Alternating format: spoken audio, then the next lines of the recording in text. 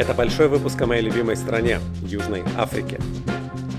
Мы начнем с каньонов, горных рек и сосновых лесов провинции Мпумаланга и Лимпопо.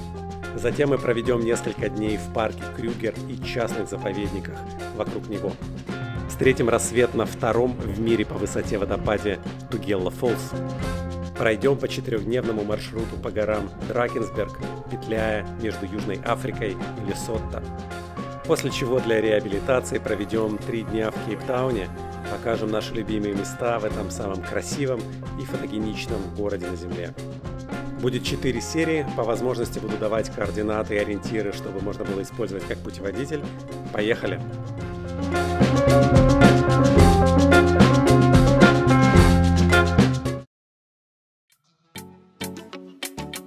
Многие южноафриканцы назовут Дракенсберг своим любимым местом в Южной Африке. При этом за пределами страны очень мало людей знают про эти горы. Отчасти это обусловлено тем, что Дракенсберг очень слабо присутствует в каких-то социальных медиа, очень мало картинок Дракенсберга, Южная Африка его не рекламирует. Туристы приоритизируют свои маршруты в пользу более попсовых животных в Крюгере или Кейптауна, Отчасти это может быть обусловлено тем, что Дракенсберг требует более-менее серьезного хайкинга, и не у всех туристов такая дальняя поездка в Южную Африку ассоциируется с необходимостью взять палатку или другое хайкинговое оборудование. Дракенсберг расположен на восточной границе Лесота. В этих местах Лесота представляет собой плато с высотой где-то 3 километра над уровнем моря. Территория же ЮАР где-то на 2 километра ниже, Перепад высоты происходит очень резко, и этот хребет простирается на несколько сот километров с севера на юг. Но я предлагаю еще посмотреть на наш маршрут через призму Guide GPS. Это очень крутые офлайн карты Для цели этого похода даже лучше, чем Maps.me. Все тропинки и пещеры были на этих картах. Мы будем стартовать из провинции Free State от нашего отеля Вицешуэк Mountain Resort. На отельном трансфере мы доедем до Sentinel Car Park, и там всего лишь 500 метров нам нужно будет добрать высоту, чтобы оказаться в Тугела Фолс. На следующий день из Тугела Фолс по территории Лесотта мы дойдем до места Мбудини Эбе. На третий день по краю хребта мы пойдем в сторону Рокери Спас и там же заночуем нашу третью ночь. И в последний день по Рокери Спас мы спустимся вниз до ближайшего места, куда сможет доехать машина трансфера, которая нас заберет и вернет обратно в провинцию Фри Стейт, где мы оставили свою машину. Дорога из парка Крюгер в Дракенсберг заняла у нас порядка 8 часов. Здесь Google показывает совершенно все верно. Дорога отличная, скоростная и в основном идет по полям пшеницы и пастбищам. И вот спустя 8 часов мы почти подъехали к нашему отелю. Нам осталось проехать большой, достаточно стрёмный на вид городишко с невыговариваемым названием. Но, кстати, общее правило в Южной Африке, если вы не заезжаете в жилые кварталы, а просто едете по дороге, которую вам построил Google, то даже стрёмные городки на самом деле вполне безопасны. У этого отеля уникальное расположение. Это единственный отель, который находится рядом с Sentinel Car Park, то есть с местом начала хайкинга на Тугела Фоллс. За счет этого отель может позволить себе немножко плевать на уровень сервиса, но на самом деле спальный комфорт совершенно прекрасный. Такие вот круглые домики здесь с несколькими номерами. Вот такой довольно компактный номер. Но здесь есть розетки, обычные европейские. Есть чайник. И вот такая душевая кабинка. Ну и на следующий день наш хайкинг начинается с короткого трансфера до Sentinel Car Park, последнего места, куда может доехать машина. Сама дорога ужасная грунтовка, но последние несколько сот метров выложены плиткой. Соответственно, отсюда путь на плато наиболее простой. Можно зайти буквально там за два часа а, с относительно небольшими затратами. Поэтому сейчас мы здесь что-то решаем и идем. Тропинка очень хорошая, даже и тропинка это сложно назвать, она вымощена часто плиткой, либо очень хорошего качества. Место очень популярное, многие люди совершают однодневные хайки до водопадов. И спустя буквально час ходьбы можно свернуть на смотровую площадку, где открывается вид на так называемый амфитеатр. Это вот уже классический вид Дракенсберга. Вот мы как раз идем с группой местных туристов, которые тут одним днем на водопады нами бывают такие не очень комфортные места, где мокрый склон, не за что ухватиться и вниз падать очень далеко. Сейчас на четвереньках перелезали. Лето только наступает, сухой сезон был совсем недавно, поэтому много еще сухой желтой травы. Бабун. Так выглядит первая часть маршрута, виден паркинг. И вот вьется дорожка. На самом деле первая часть самая сложная. И здесь в конце уже угол намного меньше. А вот во впадине ущелья очень красивая смотровая площадка. Дальше мы почти подошли к цепям или к лестницам. Видно, что дорога идет чуть еще выше. Дальше. Вот тут люди. И вот там по склону нужно будет подниматься. Метров 20 ползешь совершенно вертикально. Потом она выходит, то есть такая более пологая. Если вы боитесь высоты, вам, наверное, может быть не очень комфортно, но в целом совершенно безопасный этап. И сразу после того, как вы поднимаетесь по лестницам, первый водопад, он какой-то безымянный, его нет ни на каких картах. И здесь мы первый раз расчехлили наши стулья, так как мы позволили себе взять портера, мы можем таскать такой вот нетипичный груз. Пейзажи наверху, такие классические альпийские луга, очень плоско, если сравнить с тем, что буквально здесь вот в 50 метрах просто царство обрывов, утесов и скал. Вот так выглядит начало второго по высоте водопада в мире. Первым делом, как только мы пришли на стоянку, мы поставили палатку, достали наши стулья и пошли отмечать наш первый успешный день. Ставить палатку первым делом, как только вы куда-то приходите, это самая полезная привычка потому что дождь в горах может пойти очень быстро и неожиданно. Если есть палатка, значит ни вы, ни вещи не намокнете. Кстати говоря, это был наш единственный дождь за 4 дня. Мы считаем себя большими счастливчиками. Пошел дождь, загнал нас в палатку. Мы уже допили бутылку вина. И Пит принесли нам горячий чай. И у нас есть печеньки. То есть у нас вообще есть да-да-да, то есть у нас вообще есть все удовольствия в этой жизни. Что удивительное наблюдение уровня юных натуралистов. Только что был достаточно большой дождь, но это видно даже.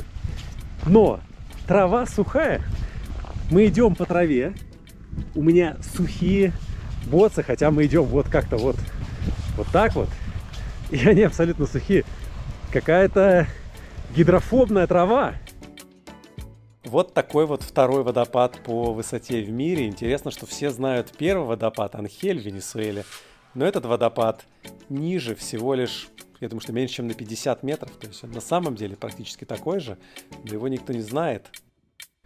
При том, что он находится в таком красивом месте, рядом амфитеатр, и добираться сюда на порядок проще, чем до водопада Анхель.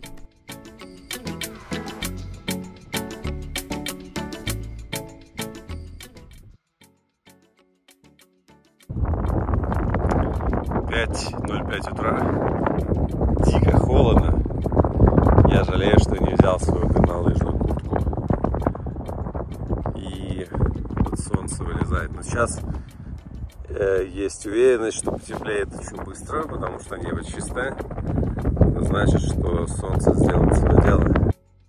Рассвет оказался вполне ничего, лучше, чем я думал. Я посмотрел, решил, что Тугела Фоллс скорее место полудня, то есть вот такой красивый свет сверху, самый подходящий для Тугела Фоллс, но оказалось, что в общем рассвет тоже можно интересно снять. Вот здесь хорошо видна площадка над водопадом, где как раз все кемпятся. Очень удобная площадка, потому что рядом источник воды. Многие там купаются, даже несмотря на то, что прохладно. Ну и вот чем выше солнце, тем больше зеленого света появляется. Давайте попробуем полетать на дроне.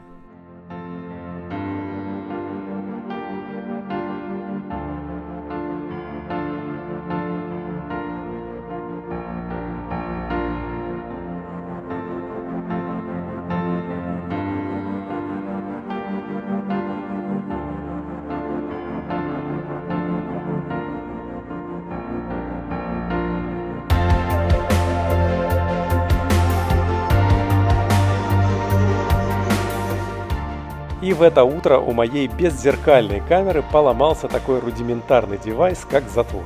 Поэтому дальше все фотографии и видео были сделаны только iPhone и GoPro.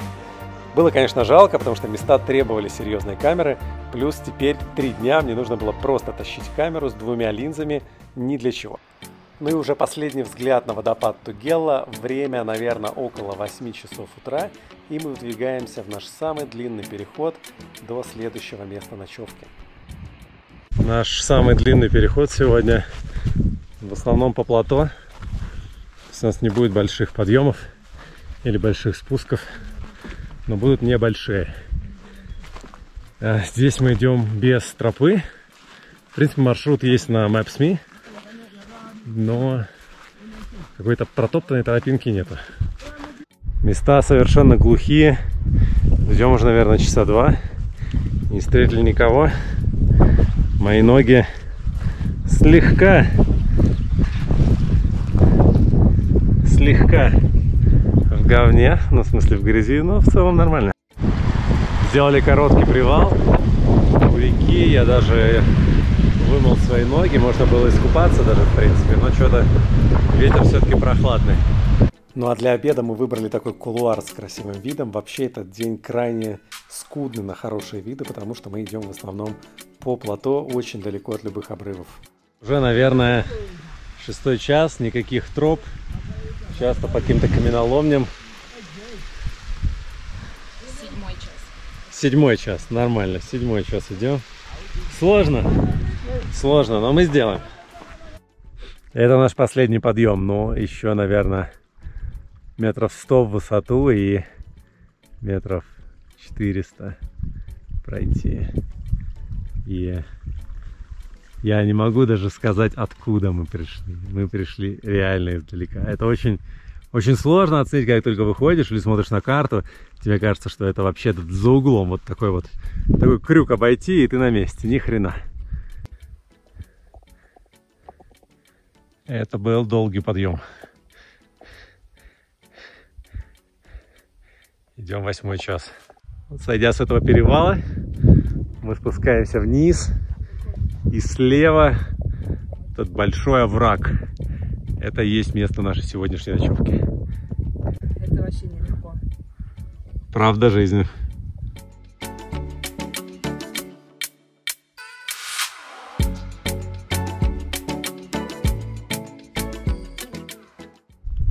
Общем, друзья, это была очень долгая дорога, изнуряющая, но это, конечно, невероятное место уже притащили свои чудо-стулья. Давайте посмотрим, что же там ниже. Вот, и если забраться на эту скульптуру инка, надеюсь, у меня получится, я уже в шлепанцах, то открывается самый классный вид. Больше километра вниз – Место совершенно удаленное и глухое. Наш гид сказал, что ни разу не было такого, чтобы с людьми, которых вел он, в этом месте пересекался бы кто-то еще. Единственный звук, который здесь можно услышать, это звуки птиц с очень громким эхо.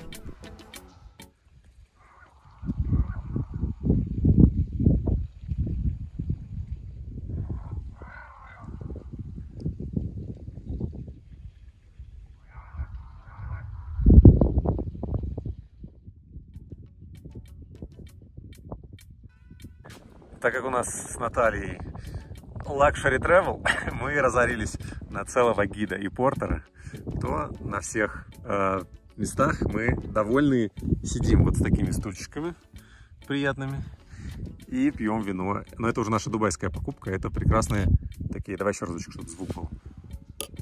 Такие прекрасные бокалы, объемно на миллилитров 800, то есть прям очень хорошо. Выглядит прекрасно и, в общем, любое вино можно покупать и пить в самых далеких местах нашей галактики. Что мы, собственно, сейчас и делаем.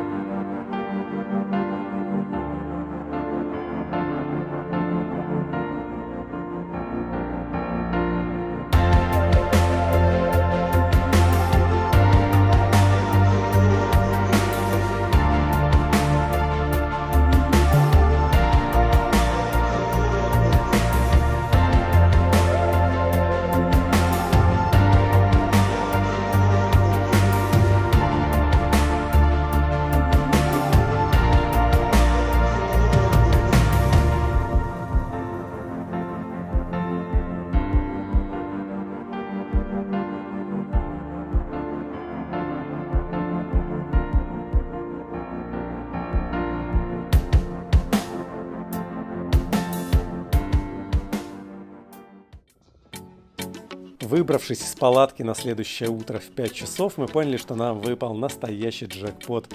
Увидеть Дракенсберг с облаками внизу, да еще на рассвете мечтает любой фотограф и любой турист.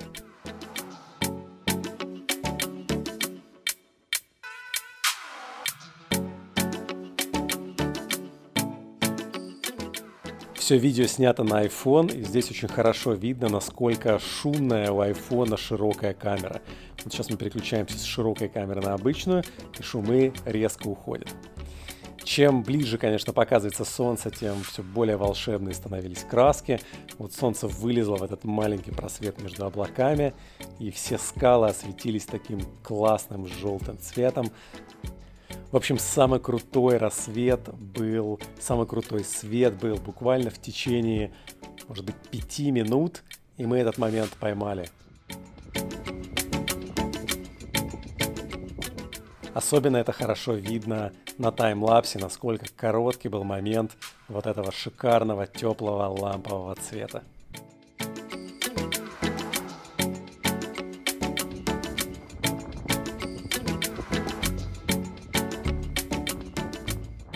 пару слов о палатке, которую мы взяли. Это ее первое боевое крещение. Плюс, самое главное этой палатки, за что мы ее покупали, она весит килограмм. То есть это прям совсем-совсем мало. Tarp Tent Icon Series. Ну, вот так вот открывается.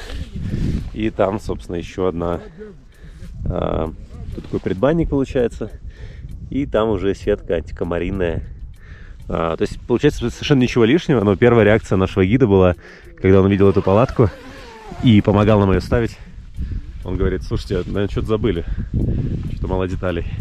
То есть палатка действительно удивительно простая, очень классные колышки такие, круглые, неубиваемые, безумно легкие. То есть все про то, что было легко. Ну и прекрасные стулья, которые мы купили за 10 долларов каждый. Не очень удобные, но легкие. И в принципе, вот если хочется именно повтыкать с утра вот на такой рассвет с облаками внизу, то это, конечно, вполне нормальный выбор, потому что необходимость в походе все время сидеть на карачках, как-то это некрасиво. Идем, значит, вот там наши ребята, которые нас поддерживают здесь, мы взяли одного портера и одного гида. Э, значит, э, гид стоит, э, наверное, порядка 100 долларов в день, и портер стоит в три раза меньше. Вот. У меня тоже большой рюкзак. Я тащу камеру, объектив. Камера, спасибо Соне, которая сломалась вчера во время обычной серийной съемки. И, ну, то есть я тащу всякие пауэрбанки, и одежду на такое на первое время. То есть, он, если вдруг пойдет дождь, то это одежда у меня. Ну а пока готовился завтрак и сохла наша палатка от утренней росы, я решил прогуляться по правой стороне нашего ущелья или кулуара, посмотреть, какие виды открываются оттуда. Ну, вот я дошел до правого крыла ущелья. А, уже не видно за холмом место, где у нас палатки. И а, ну, здесь, конечно, феерически круто. Мне даже... Я, конечно, каждый раз все больше и больше жалею, что сломалась моя камера. Я ничего не могу с ним сделать. Но если вы это видите, вы понимаете, что когда ты несешь с собой огромную камеру и линзы, они должны быть здесь.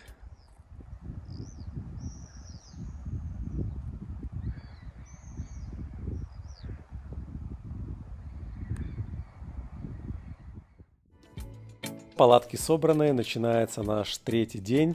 Он обещает быть самым простым. Мы будем идти рядом с обрывом. По идее, будет интересно.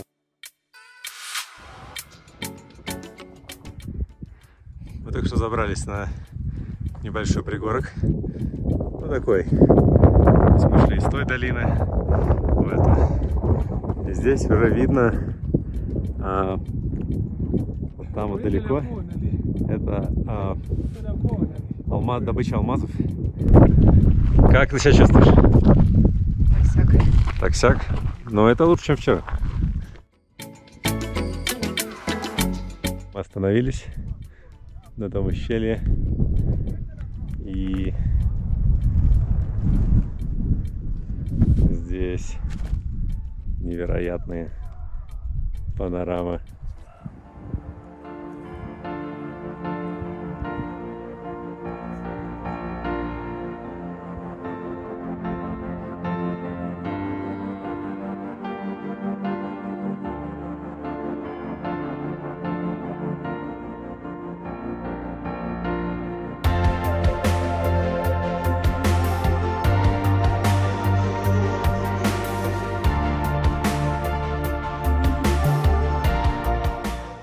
этих видео кажется, что это какая-то застывшая картинка, это больше похоже на фотографию.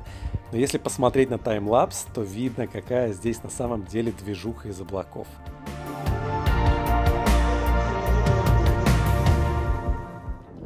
Очередное пришествие со стороны Лесотта.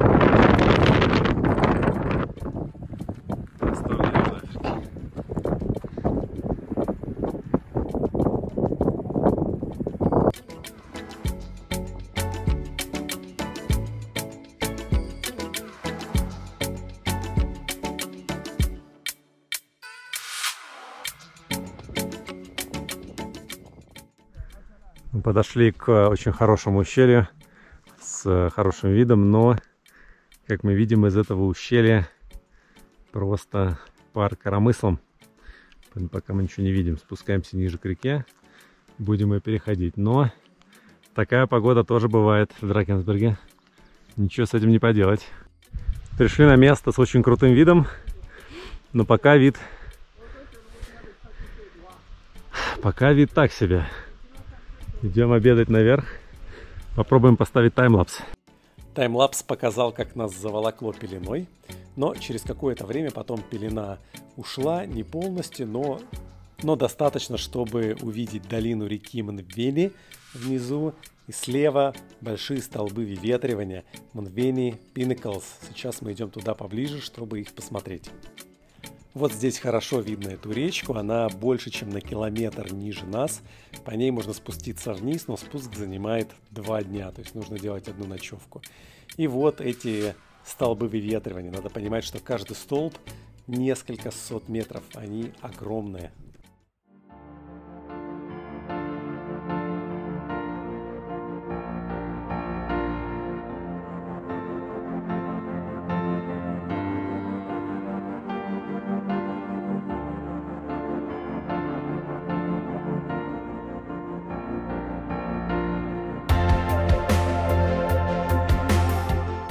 Дракенсберг, конечно, совершенно не исхоженное место. Смотришь на этот ландшафт и понимаешь, что здесь такое количество точек с самыми разными видами для заката, рассвета, там просто красивых фотографий. Люди просто не доходят сюда, потому что часто у тебя маршрут, ты идешь, ты устал, тебе нужно дойти до точки привала, и ты не можешь себе позволить пройти лишние полчаса в бок, немножко забравшись, просто посмотреть, какой вид оттуда. И это делает Дракенсберг уникальным местом на Земле. Это одно из самых неизведанных, при этом ну, относительно легкодоступных мест.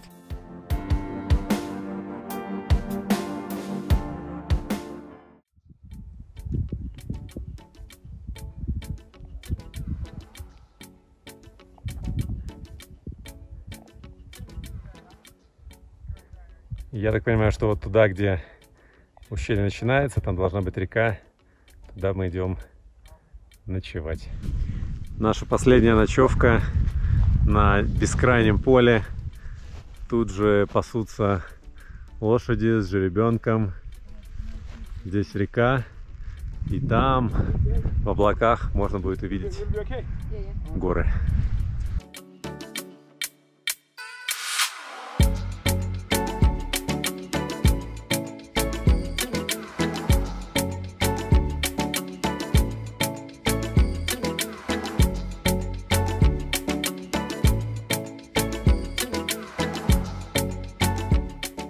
Пять утра, прекрасный рассвет.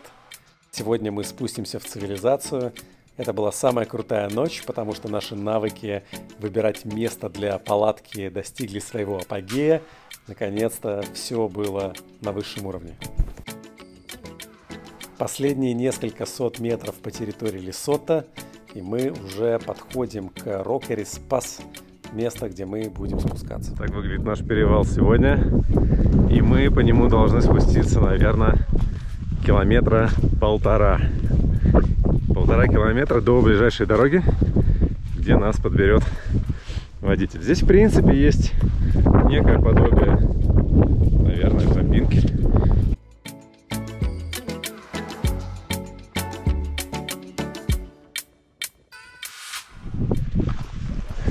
пока все идет по плану. Наши гиды балуются цехом. Очень классный перевал. Красивейший. А, с колонией а, каких-то больших орлов или кондоров, я не знаю, если они живут в Африке. Очень круто. Сегодня пасмурный день. Мы пока, ну, на самом деле уже можно сказать, что мы были очень удачливы, и мы ни разу не попали в дождь а в день, когда нам еще предстоит ночевать, да, потому что одно дело, когда ты просто попадаешь в дождь и приходишь мокрый уже конец хайкинга, это одно дело. А другое дело, когда ты попадаешь в дождь и приходишь, тебе нужно оставить под дождем палатку и там как-то пытаться значит, все это делать, это совсем другое дело. Пока все идет очень круто. Так как в Дракенсберге весна, и вообще в Южной Африке сейчас весна, сезон цветов, мы спустились ниже, здесь начались чумовые заросли, пахнут медом, волшебно. В принципе, становится теплее, а, настроение лучше, местами идти чуть сложнее, нужно проходить камнепады, но в целом вот я вижу уже, что мы почти вышли к русло реки. Дальше должно быть много лучше. Здесь, конечно, поражает это мрачная черная стена, которая над тобой висит. Высоты плато 300, вот сейчас уже на 2500. И вот только здесь, вот тут их еще, ну вот, вот это на самом первый, появляется уже что-то а, напоминающее маленькие деревья или кусты.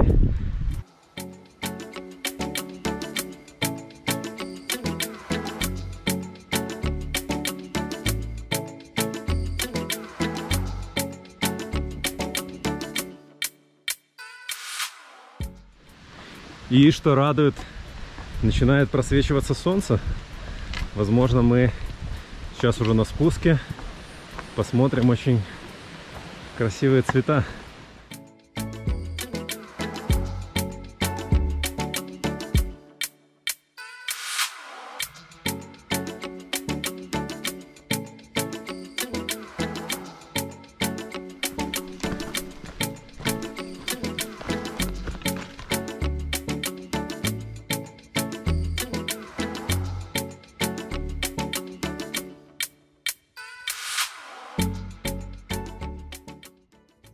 Самом деле путь домой оказался труднее, чем мы думали. Мы уже достаточно далеко отошли от гор. И основной маршрут идет через а, по берегу реки. Постоянно петляешь вверх-вниз. Здесь прикольно еще ручьи промывают вот такие вот дырки. То есть потенциально можно туда бухнуться.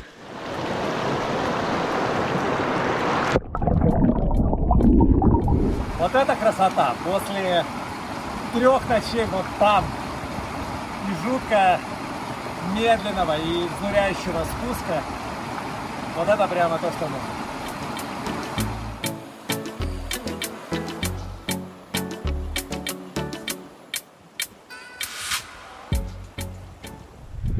Так, еще последние усилия после речки, буквально 10 минут. И вот мы вышли к первому месту, куда может проехать машина, где нас ждет трансфер и возврат цивилизации. Но на самом деле река, река очень сильно освежает, пока ты заново не наденешь свои ботинки, а, шляпу. А, у тебя ощущение, что ты вообще уже как огурчик. Мы пришли к нашей машине. За нами, правда, бегут маленькие дети. Но дать им нечего абсолютно ничего, потому что Наталья Человек, который съедает абсолютно все. И приятный сюрприз в нашем автомобиле трансфера. Бум! Друзья, мы это сделали. Это было реально непросто. Непросто. Но... Йоу! Но возможно. Ну и дальше мы едем обратно. Дорога долго идет грунтовая, связи все еще нету. И мы едем через бесконечную, но очень редкую сельскую застройку с такими прикольными круглыми хижинками. Конечно, с огромным удовольствием мы вернулись обратно в цивилизацию, в мир горячей воды и горячей еды. Ну а нам теперь предстоит 4 часа дороги до Йоханнесбурга. Мы отправляемся в Кейптаун. Этому городу будет посвящена следующая серия. Подписывайтесь, ставьте лайки. Пока-пока.